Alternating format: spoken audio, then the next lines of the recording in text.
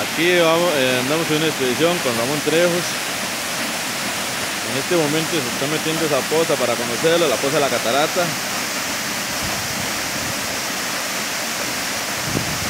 Tiene buena profundidad.